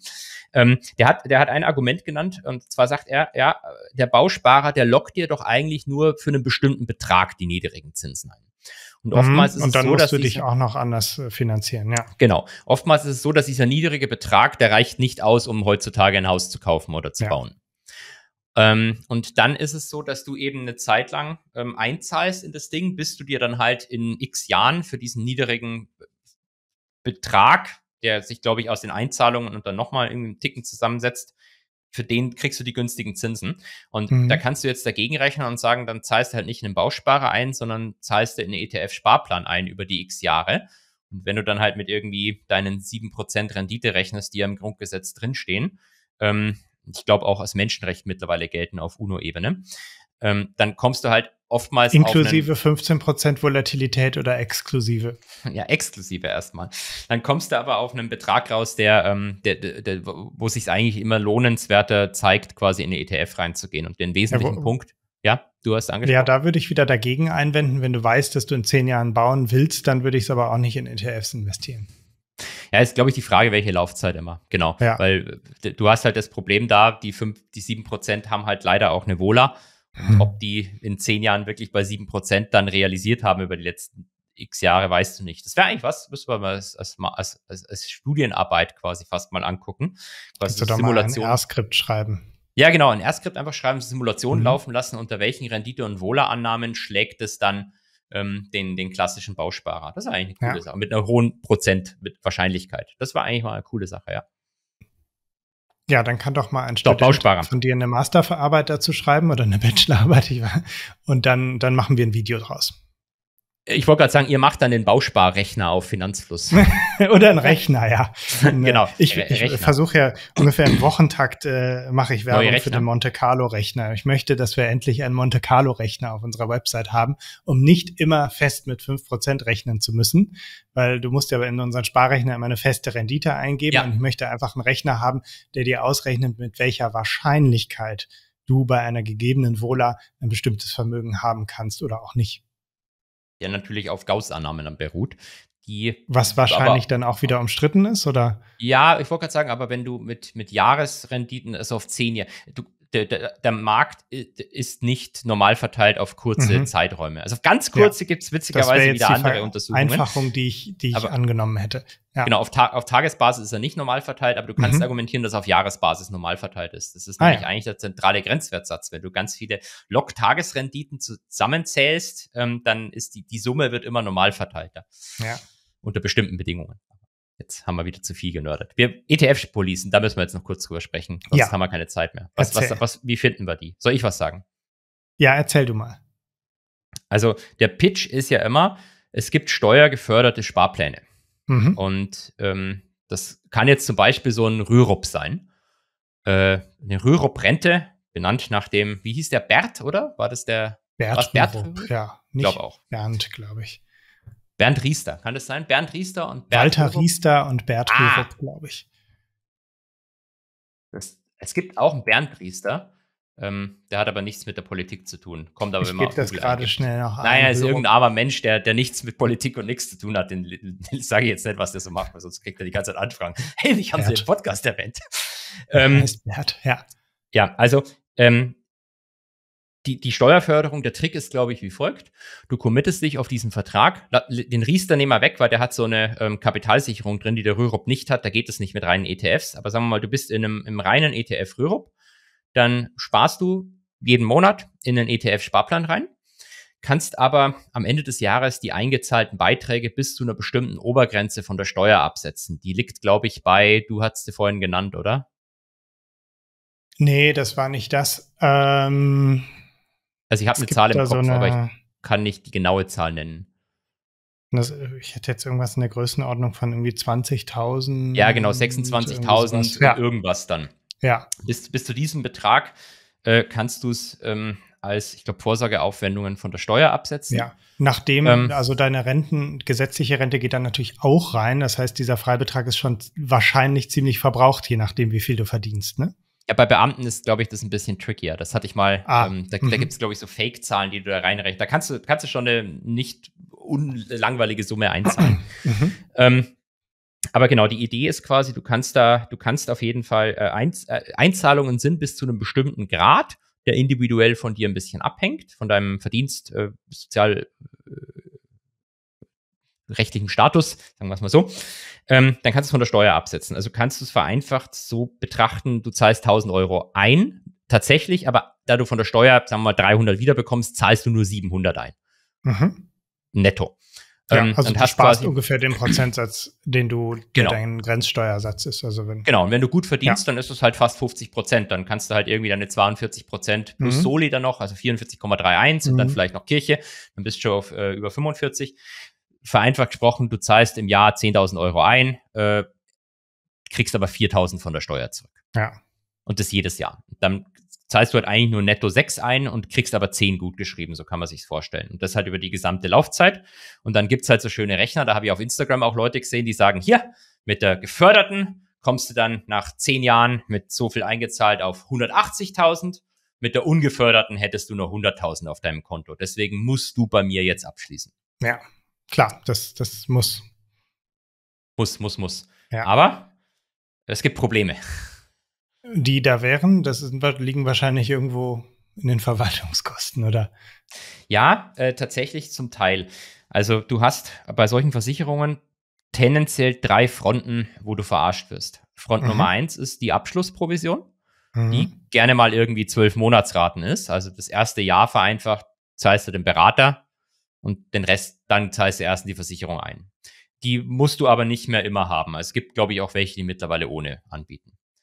Dann hast du die laufenden Kosten. Da hast du auf der einen Seite oftmals eine Verwaltungsgebühr auf Versicherungsebene und dann hast du natürlich die laufenden Kosten der Fonds, in die du zum Beispiel investierst. Auch da, glaube ich, kannst du mittlerweile, ich habe ein, zwei angeguckt, gibt es entweder sehr günstige Policen oder welche, die eben, wie der, die Überschrift vorher gesagt hat, in ETFs investieren. Da kommst du tendenziell mit einer geringen Kostenbelastung hin. Lass es mal 50 Basispunkte im Jahr sein. Ähm, also so viel wie der Gerd Komma ETF. so viel wie der Gerd Komma ETF, stimmt. ähm, das ist auch nicht so schlimm. Ich, ich glaube, so der, der, der relevanteste Punkt ist, und den ignorieren dann oftmals Verkäufer, weil den, da können sie gut verstecken, ist halt in der Rentenformel am Ende drin.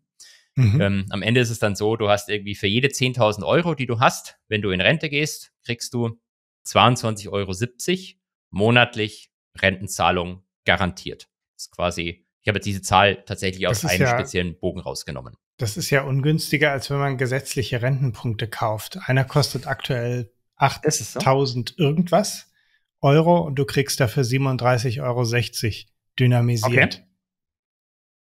pro Monat. Genau. Also das war, was ich jetzt quasi gerechnet habe, das wäre vereinfacht eine Dividendenrendite von 2,7 Prozent. Mhm. Also wenn du quasi das, das der, der Unterschied ist quasi, dass dir die, die Versicherung das in Anführungszeichen bis zu deinem Tod dann ja, verspricht. Ja, ja, und bei den Rentenpunkten kommt man tatsächlich auf so auf eine ja, man Bessere kann es nicht Rendite, Rendite nennen, weil das so ein bisschen Äpfel mit Birnen verglichen ist, aber 5, irgendwas äh, haben wir in einem Video. Ah, und äh, mit Sicherheit auch im Rentenrechner auf Finanzfluss, oder? Mm, nee, da nicht. Okay. War bloß eine, ein Versuch. Ähm, ja, aber es gibt ein, ein Problem mit dieser Rentenzahlung, die es tatsächlich dann sehr uncool macht. Ähm, die ist lebenslang. Das macht es ja wieder cool eigentlich, dass du, du hast das Langlebigkeitsrisiko trägt die Versicherung. Wenn du 1000 Jahre mm. alt wirst, dann gehen die alle pleite. Naja, du, du musst halt nur die ganzen Methusalems mitfinanzieren und äh, also es, genau, es bringt nur was, wenn wenn du wirklich alt wirst. Genau. Ähm, weil du kannst ja auch andersrum sehen, äh, dann hast du halt dein angespartes Vermögen, das ist geringer, aber du zahlst dir eine höhere Dividendenrendite oder du mhm. zahlst dir, hast 4% Entnahme zum Beispiel jedes Jahr, weil du das so machst. Aber es gibt noch einen weiteren Punkt, der ignoriert wird. Du musst diese scheiß Auszahlungen, die ähm, musst versteuern. Und zwar mit der Einkommenssteuer. Genau. so ist, wie bei der ganz normalen Rente. Ja, wie, wie beim, beim Riester zum Beispiel auch. Die Einzahlungen mhm. unter Vermögensaufbau sind Steuer gefördert, ja. aber später die Auszahlungen unterliegen dann einfach auch der Besteuerung.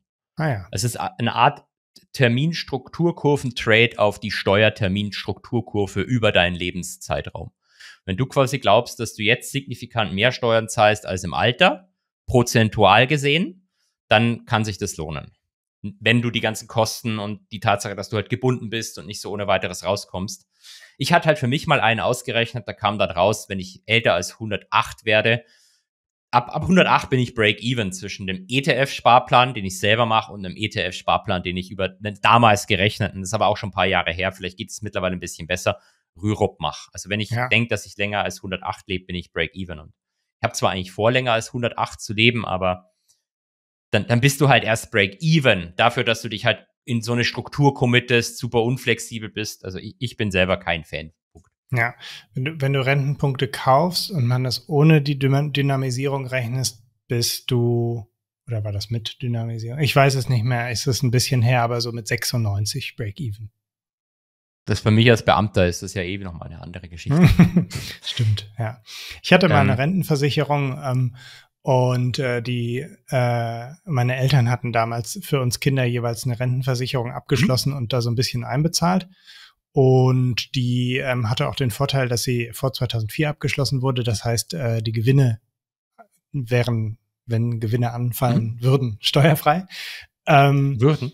würden. Ja, gut, es äh, war halt, äh, basierte halt auf Anleihen und man bekam da irgendwie eine Rendite okay. von, keine Ahnung, zwei Prozent oder irgendwie sowas was für mich dann auch der Beweggrund war, die aufzulösen und in ETFs das zu investieren. Ob das intelligent ist, äh, ähm, kommt auf die Betrachtungsweise an, aber ich wollte eben gerne das Ris Risiko Class Action Lawsuits bitte an Markus von Finanzfluss schicken, wenn in zehn Jahren das Auflösen eurer Rentenversicherung die falsche Entscheidung war. genau. Ja, nein, das ist nicht, es ist nicht unbedingt die beste Entscheidung, aber ich wollte das eben so, ähm, hatte dann eben mit diesem äh, Berater ähm, telefoniert und der wollte mir dann natürlich noch eine Alternative anbieten, nämlich eine, die in ETFs investiert, wo ich dann nicht den Steuervorteil bekomme, was aber nicht schlimm ist, weil ich ja dann auch mehr Rendite bekomme bekomme. Und der hatte dann damit argumentiert, ähm, ich müsste ja nur die Hälfte davon versteuern. Das habe ich bis heute nicht verstanden, warum. Vielleicht sind Rentenversicherungen noch mal ein bisschen ähm, spezieller irgendwie ähm, steuerbefreit. Dann habe ich ihm entgegnet, naja, aber bei meinen ETFs, da entfallen ja A die Gebühren und B bekomme ich ein Drittel von der Steuer erlassen. Teilfreistellung. Hm? Ähm, und dann guckte er mich an wie so ein Auto und sagte, nee, das stimmt nicht. Sagte ich, doch, das stimmt. So, nee, das stimmt nicht. Man kriegt keine Steuerermäßigung bei, äh, wenn man das selber macht. Und sage ich, googeln Sie das mal, Teil, Teilfreistellung. Ich sagte, wie heißt das Wort? Und dann schrieb er das auf, Teilfreistellung. ja, naja, jedenfalls war das Beratungsgespräch nicht so, dass ich dann Lust hatte, ähm, ähm, irgendwie seinen Ratschlägen zu folgen. Ja, ich, ich glaube, ähm, das muss ich jetzt an der Stelle einfach nochmal einbringen. Ja. Ich muss äh, vielleicht allgemein nochmal eine Lanze auch für, für, Berat, für den Beraterjob brechen. weil, ähm, ja, nee, das meine ich jetzt ausnahmsweise ernsthaft. Es gibt ja schon auch gute Berater. Ja. Die dann, nein, ich meine das ernst. Ich meine das wirklich nein, ernst. Nein, ich, ich meine mein Ja auch ernst. Also, äh, es gibt, es gibt Leute, die dir. Menschen die dir sind grundsätzlich gut, da bin ich fest von überzeugt. Auch Berater. So, da bin ich nicht von überzeugt. Aber ich glaube, die Menschen sind grundsätzlich böse, aber sch schau mich an. Ähm, aber ich, ich glaube schon, dass es, äh, ich kenne auch welche, dass, dass, es auch gute Berater gibt, die dir im Service Produkte empfehlen, die dann tatsächlich für dich auch geeignet sind. Sei das jetzt zum Beispiel bei, wenn man über eine Krankenversicherung zum Beispiel spricht, wenn man über, ich habe jetzt abgeschlossen, ähm, eine sage ich jetzt nicht, was ich abgeschlossen habe, weil sonst können die Leute Konsequenzen daraus ziehen, was, was, was sonst noch so abgeht bei mir. Ich habe eine andere Versicherung abgeschlossen. Ähm, also ich, ich glaube schon, dass es äh, dass, eine dass es das ist Versicherung. Eine Haftpflicht, stimmt. Kinderhaftpflicht. Nein, eine Amtshaftpflicht als Beamter. Nee, genau. ähm, also äh, es gibt, es gibt, glaube ich, schon äh, gute Leute. Auch im, ich gehe sogar so weit und sage, auch im Thema Finanzberatung gibt es sicherlich auch welche, die dir, die dir halbwegs gute Entscheidungen äh, überlassen. Das, der Punkt ist halt, ähm, wenn die das Vollzeit machen, müssen die Geld verdienen. Anders geht mhm. das einfach nicht mit einem machen einen ETF-Sparplan und sei zufrieden. Mit dieser Empfehlung verdienst du halt kein Geld. Mir hat mal eine Bank sehr schön gesagt, wenn alle Leute in Deutschland Thomasse von Finanzflüssen wären, dann könnten wir dicht machen. Ähm, das war ein Online-Broker. Also wenn mhm. alle nur noch ETF-Sparpläne machen, ja, ja. geht's halt nicht ja. mehr. Ähm, dementsprechend, ich, ich glaube schon, dass, dass es auch Leute gibt, die zum Beispiel bereit sind, dafür zu zahlen, dass sie irgendwo an der Hand genommen werden. Dass du quasi sagst, okay, gut, ich betreue dich hier, ich sag dir, hier musst da rein investieren, da rein. Und solange man die Leute halt nicht gezielt verarscht, wenn man sieht, die kennen, die kennen sich nicht aus, dann ist es, denke ich, okay. Ähm, es gibt aber halt dann auch diese Fälle, wo dann halt der 80-jährigen Oma ein Kapitalschutzzertifikat mit 30 Jahren Laufzeit auf Hedgefonds eingebucht wird. Ja, ich schaue dich an, Dresdner Bank, und ich könnte sogar die WKN nennen, aber ich tue es nicht. ja, nee, das kann ich auf jeden Fall so unterschreiben. Also natürlich müssen die von irgendwas leben und ähm, ich, ich glaube, ich fände ein Modell besser, wo klarer ist, dass ich den bezahle. Es wird ja dann immer so getan, als sei das alles gratis und, äh, und, äh, und ähm, ja. du, ne, das ist irgendwie so eine Dienstleistung, das so, so wie der Strom aus der Steckdose ähm, kommt, hat die Bank halt Berater und, ähm, und, und die verdienen nichts. Äh, das finde ich immer so ein bisschen schwierig.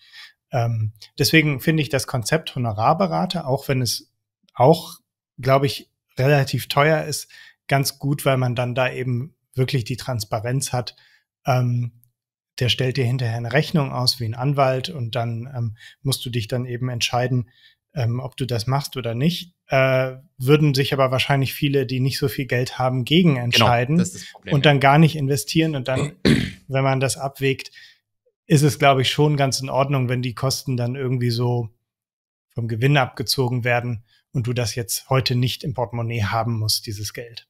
Ja, das wollte ich auch noch gerade ergänzen, weil die Honorarberatung halte ich persönlich auch für die, die, den, den, richtigen Weg eigentlich, aber es gibt halt viele Leute, die das, ja. das nicht möchten und weil das halt abschreckend auch ist, wenn du da teilweise einen relativ hohen Betrag zahlen musst. Klar, wenn du den auf Lebenszeit dann wieder rechnest in so einen Sparplan versus irgendwie einen aktiven Fonds oder so, schlechten aktiven Fonds, es gibt ja auch gute, wenn ich das mhm. hier so sagen darf, ähm, dann, ähm, aber ja, also das, das ist, glaube ich, der Punkt. Deswegen bin ich auch nicht die Abschaffung der Provisionen finde ich auch nicht den richtigen Weg. Ich habe aber auch keine tolle Idee. Ich bin kein guter Regulator. Das überlasse ich anderen Leuten. Ja. Vor allem, so. wenn man die Provision abschafft, dann hat man ja immer noch nicht abgeschafft, dass den Leuten scheiß Produkte verkauft werden. Also. ja, das ist natürlich das, ja. das, das, zweite Problem dann noch. Dass es, also wie gesagt, es gibt, glaube ich, auch gute Produkte, aber es gibt halt auch viel, viel Mist. Man müsste irgendwie ein Incentive schaffen, dass ähm, an, dass, dass man besonders dann bezahlt wird, wenn man weder eine großartige Unterrendite noch eine großartige Überrendite den Leuten vermittelt.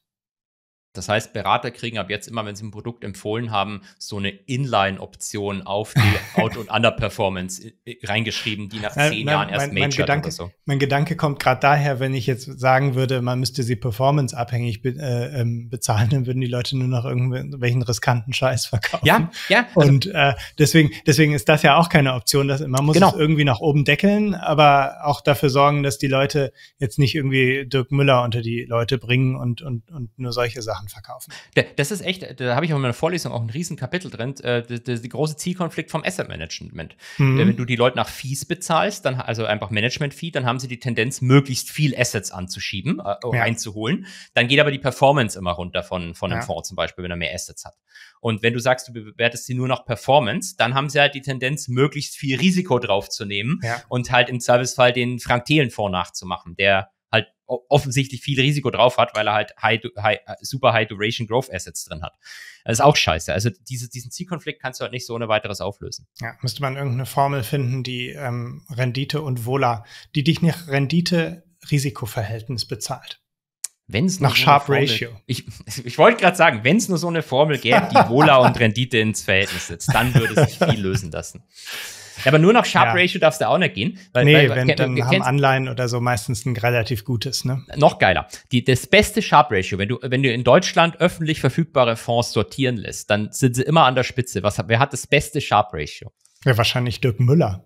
Nee, nee, Dirk Müller hat tatsächlich nicht das beste Sharp Ratio. Ah. Das beste Sharp Ratio haben, ähm, haben äh, offene Immobilienfonds. Weil die natürlich ah. dir immer nur einen NAV berichten, den sie selber irgendwie ein bisschen steuern können, der halt ja. irgendwie nur steigt die ganze Zeit. Und dann kommst du halt auf so Monster Sharp Ratios die ganze Zeit, wenn du halt in so einem Such, äh, in so einer Suchmaschine das sortieren lässt. Ja, da, dadurch, ähm, also ist ja auch oft bei so Collectibles oder so, dass man denkt, die hätten kein Risiko. Wenn du nur einmal im Jahr den Wert feststellst, dann hast du natürlich keine Schwankungen dazwischen. Wobei es auch, äh, da, da, muss ich auch noch eine letzte Sache Ergänzung machen. Es wird ja oft ähm, Fonds, Private Equity, da gehe ich mit, aber Hedgefonds auch vorgeworfen, die schauen deswegen so risikoarm aus, weil du halt nur einmal im Monat einen Preis hast. Mhm. Ja, das, das stimmt schon, aber die Leute sind ja blöd. Also du musst dann halt auch den MSCI World einmal im Monat dagegen plotten und dann sieht er halt doch noch deutlich schwankender genau, aus als, genau. als so ein Fonds. Ja. Aber klar, du kannst nicht was, was intraday rumzuckelt wie Dogecoin, das dann irgendwie vergleichen mit einem Private Equity Fonds, wo du einmal im Jahr einen Preis kriegst. Das stimmt. Mhm. Gut, Sollen wir zwei Stunden voll machen heute oder? ich höre langsam auf zu schwitzen. Hier ist also dieses Zimmer hier ist ein Puma-Käfig. Es sind, ähm, nee, warte mal, es werden 22 Grad sein, wenn ihr diesen Podcast hört, aber jetzt sind es 30 Grad. Und ähm, ja, hier ist schlechte Luft. Ähm, aber langsam, ich, ich habe eben die ganze Zeit hier alles vollgesuppt und so langsam gewöhne ich mich an diese Hitze. Also wir können, wir können die zwei Stunden voll machen, wenn du möchtest. Dann, Uns ähm, gehen nur die Themen aus. Wetterderivate hast du doch jetzt gerade angefangen. Ich wollte Put auf, genau. Ja, du hast gerade gesagt, die Temperatur fällt. Ich wollte jetzt gerade einen Put ja. auf die fallende Temperatur kaufen. Ja, das ist ja mit der Temperatur wirklich witzig, ähm, äh, weil die, äh, was heißt witzig, aber im Moment ist ja, wenn ich es richtig äh, verfolgt habe, deutlich über dem Durchschnitt. Mhm. Während ähm, im Mai war es andersrum, da war es deutlich kälter, als so ein Mai normalerweise ist. Und dann ist natürlich, wenn du äh, äh, im Agrarsektor tätig bist, das, das, das ist dann natürlich immer scheiße, wenn du so Abweichungen nach oben und unten hast, wenn irgendwie dann der Mai kälter ist. Ja, aber ist, du hast doch dann nicht irgendwie Exposure im Agrarsektor, oder? Ich habe im Moment kein, ich, ich, ich schaue mir gerade, da, da wollten wir doch eigentlich heute auch noch drüber sprechen, aber ich glaube, das lassen wir jetzt sein. Ich schaue mir gerade. nicht, oder? Nee, nee, so, ich, ich schaue mir gerade einen Commodity ETF an. Und ah, zwar einen -hmm. Commodity ETF von der UBS, der auf ja. einer ähnlichen Strategie beruht wie einen Fonds von Lu Lumina, glaube ich, heißt der Lumina, den es schon seit 15 Jahren gibt. Und das ist die Idee, die, der Versuch einer Art marktneutralen Commodity-Strategie, die von der Und wie investieren die? Mit Futures? Die gehen, die gehen, ja, die gehen long, einen Index, ja. das ist ein passives Ding. Die gehen long, mhm. einen Index, der ähm, Rohstoffe ähm, Terminstrukturkurve optimiert handelt, also rolloptimierte Rohstoffindex, den gehen sie long. Du musst also jede Sekunde deine Futures kaufen und verkaufen oder wie? Nee, du, wenn du rollst, schaust du dir quasi meistens die Kurve an, dass du nicht in den Frontmanf mhm. immer rollst, in den nächsten, sondern dass du halt das irgendwie optimierst mit der Steigung der Kurve, wo ja. die irgendwie am günstigsten ausschaut. Und den gehst du long und short gehen tust du einen normalen, nicht rolloptimierten Index. Und dann hat dein ETF quasi die Outperformance, die du durch die Rolloptimierung generierst. Unabhängig davon, also was die, die Rendite machen. entspricht dem, dem Contango-Effekt. So, ja, der, der, der, muss ja nicht Contango sein. Du kannst auch Backwardation-Roll optimieren. Ah, mhm. Aber also beides. Du hast irgendwie einen rolloptimierten Index gegen einen nicht rolloptimierten und du setzt quasi auf die Outperformance der rolloptimierten. Und weil das langweilig ist, leverst du das noch äh, hoch natürlich.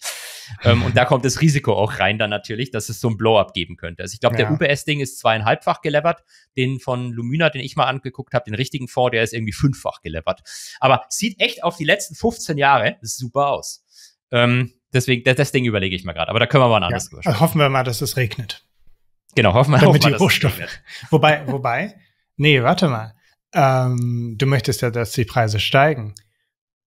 Nee, nee, das heißt, du, weniger nee, Rohstoffe Du bist, du bist unabhängig von Rohstoffbewegung. Du setzt einfach nur drauf, dass die Rolloptimierung besser läuft ah, ja, als die okay. Nicht-Rolloptimierung. Mhm. wenn Rohstoffe können fallen und du machst Gewinn, Rohstoffe steigen und du machst Gewinn. Und das ist das, was ich persönlich ganz nett an diesem ETF finde. Aber ich, ich muss mir den, wie gesagt, noch ein bisschen genauer angucken, bevor ich äh, zu viel dazu sage, weil vielleicht hat er irgendwie ein, ein riesen Scheißrisiko noch drin, das ich noch nicht sehe. Ja, und ich muss es noch verstehen.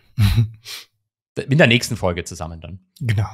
Ich glaube, wir müssen Schluss machen, Markus. ich glaube auch, ja lang. Ähm, war schön mit dir. Ich wünsche euch allen noch ein schönes. Uns allen, letztes dir ja auch. Du bist ja auch im Urlaub jetzt schon. Ja, genau. Ich bin, ich bin eigentlich jetzt gerade in Helsinki, äh, mhm. wo die Folge ausgestrahlt wird und äh, wünsche uns allen ein schönes äh, Urlaubs- und letztes Augustwochenende. Und ich sitze am Bodensee und proste dir mit einem Prosecco nach Helsinki. Wunderbar. Vielleicht gibt es ja wieder Karikaturen. Vielleicht. Stimmt, das genau. Gut. Das wäre cool. ja. Also, hat mir gut. Spaß gemacht. Vielen Dank und bis mir bald. Auch. Tschüss. Bis dann. Tschüss. Podcast Ende. Bis nächste Woche.